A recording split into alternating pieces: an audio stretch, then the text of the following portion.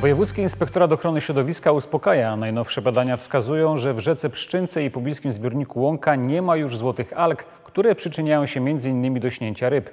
Wody rzeki i zbiornika Łąka są przez wioś monitorowane od zeszłego tygodnia, kiedy pojawiła się informacja z Centralnego Laboratorium Badawczego o zbyt niskim ich natlenieniu. Fatima Orlińska. Najnowsze wyniki badań przeprowadzone 13 lipca na rzece Pszczynka w Pszczynie wykazały, że wykryta kilka dni temu złota alga już tu nie występuje. O niepokojącym zjawisku służby zostały poinformowane, kiedy Centralne Laboratorium Badawcze prowadziło swoje rutynowe badania. Wykryto wówczas zbyt małe natlenienie w rzece powyżej zbiornika Łąka, z czym wiążą się toksyczne zakwity. W konsekwencji zapadła decyzja o wzmożonym monitoringu wód. 12 lipca wyszły nam niewielkie ilości w 600 osobników na litr, natomiast y, w próbach pobranych wczoraj, 13 lipca, nie stwierdzono obecności złotej algi.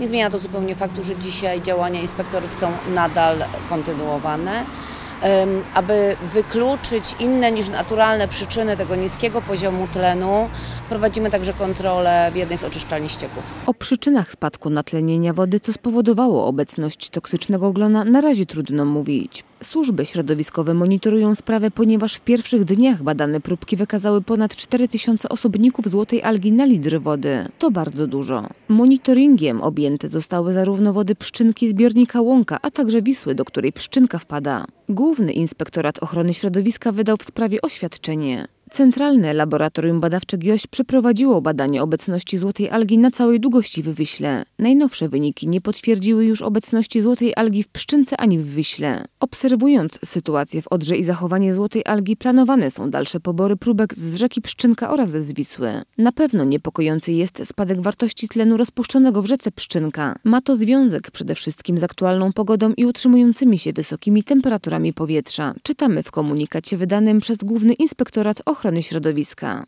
Jednocześnie Inspektorat Ochrony Środowiska podkreśla, że w wyniku wykrycia toksycznego zakwitu nie odnotowano śniętych ryb ani żadnych innych martwych zwierząt. Obecność złotej algi nie była również w żaden sposób widoczna.